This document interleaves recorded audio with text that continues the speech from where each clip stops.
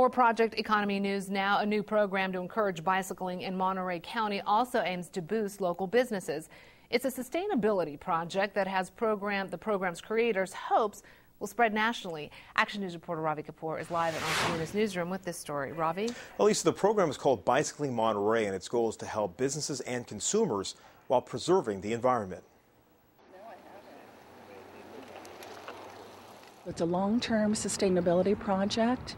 It's not a short-term discount promotion. There's no end date. You can call Bicycling Monterey a part economic, part environmental project, an effort that has no profit motive for its creator, Mari Lynch. Just a vision to encourage locals and tourists to ride their bike more, spurred on by incentives offered by local businesses. The statement the businesses are making is that they support more bicycling in Monterey County. They care about the ecology of this area as well. Um, we're providing a 10% discount to bicyclists that come in. All you have to do is present your helmet on Thursdays so that we know that you rode here on a bike and uh, you get the discount. Jay Delato with the Carmel Belle restaurant says the effort falls directly in line with his business ethic. Thus far, it appears to be paying immediate dividends to the 50 businesses involved countywide.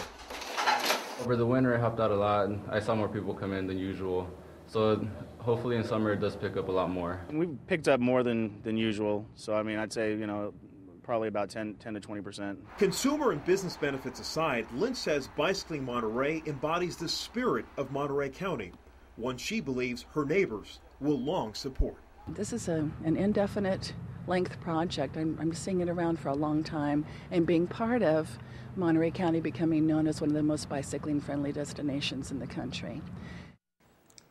The website also provides tips on great spots to bike in the county and also has a whole list of the businesses participating in this effort. Elisa? All right, thank you, Ravi. And we have a link to Bicycling Monterey on our website. Just log on to ksbw.com.